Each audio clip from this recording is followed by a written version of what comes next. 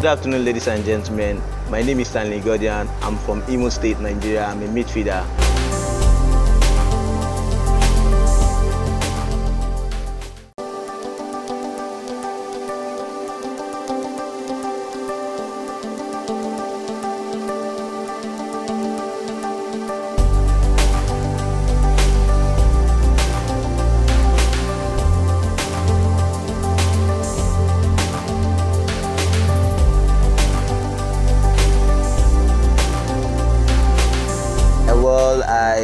I have a dream and I have plans. I have goals that I've set for myself.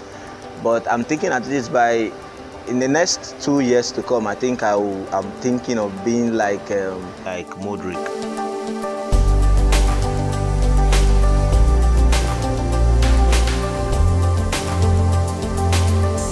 My advice to young footballers like me is for them to keep working hard, keep praying, and keep believing.